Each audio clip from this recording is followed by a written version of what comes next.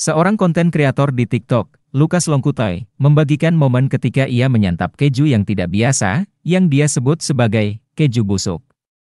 Lukas menerima tantangan ini dari salah satu pengikutnya di TikTok. Dalam video tersebut, Lukas memperlihatkan penampakan keju busuk.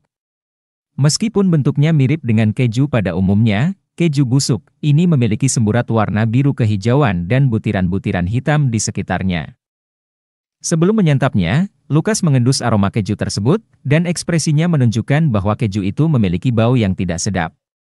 Ternyata, keju busuk yang disantap Lukas adalah jenis blue cheese, salah satu jenis keju yang unik dan berbeda dari keju pada umumnya. Keju ini mengandung jamur di lapisannya dan memiliki aroma yang cukup tajam serta menyengat.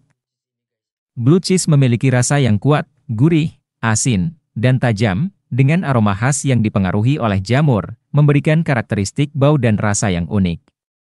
Namun, saat Lukas mencoba menyantapnya, ia langsung memuntahkannya.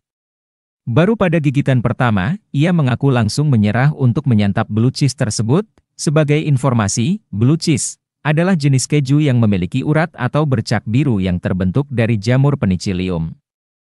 Jamur ini memberikan keju rasa yang kuat, gurih, asin, dan tajam, serta aroma khas yang cukup tajam dan menyengat.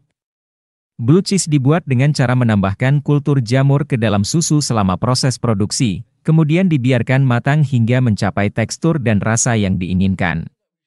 Beberapa contoh populer dari blue cheese termasuk Roquefort, Gorgonzola, dan Stilton. Blue cheese sering digunakan dalam salad, saus, dan hidangan lainnya untuk memberikan cita rasa yang khas dan kompleks.